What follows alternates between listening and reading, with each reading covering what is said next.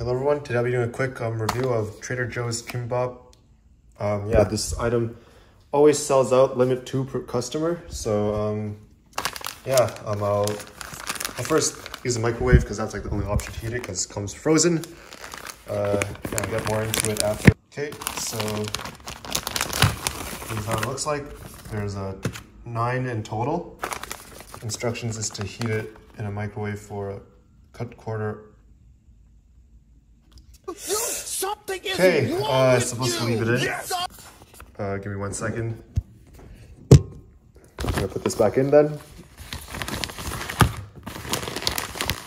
Ignore me while I do this. Trying to lazy, so I don't want to cut the video and edit it. I'm just gonna do it all in one shoot.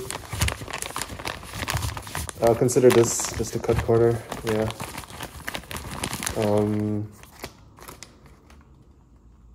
Yeah, two minutes. Then let's stand for one minute. So yeah.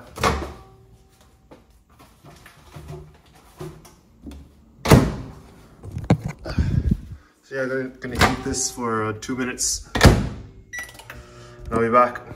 Okay, uh, two minutes and I let it sit in the microwave for like a minute. So taking it out, it smells like sushi, which is pretty good.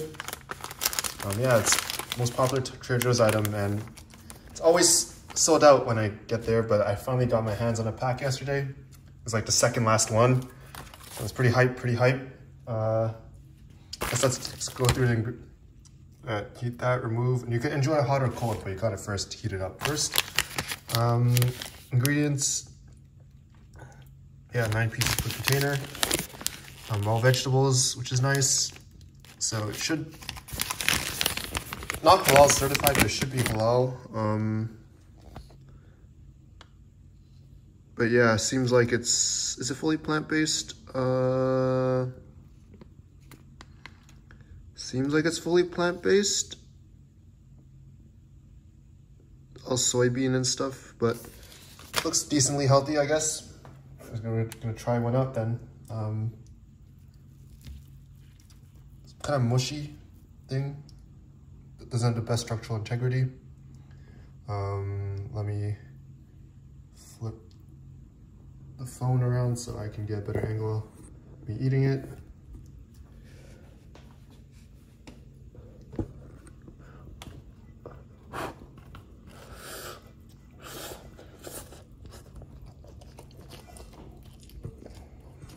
Amazing. I most people rate this as number one. I can see why. Just like three minutes of heating up. Just amazing side dish, main dish, snack, breakfast, lunch, dinner. Oh my gosh, so good. Doesn't it have structural integrity or like super duper authentic, but so good. So good. Um, yeah, maybe I'm just being biased right now, but I give this a 9.3 out of 10. Probably the highest rated Trader Joe's product I reviewed. The hype is real. I'm gonna keep getting it as long as it's in stock. But yeah, Joe's Kimbap. Highly recommend to try at least. So good. See you next time.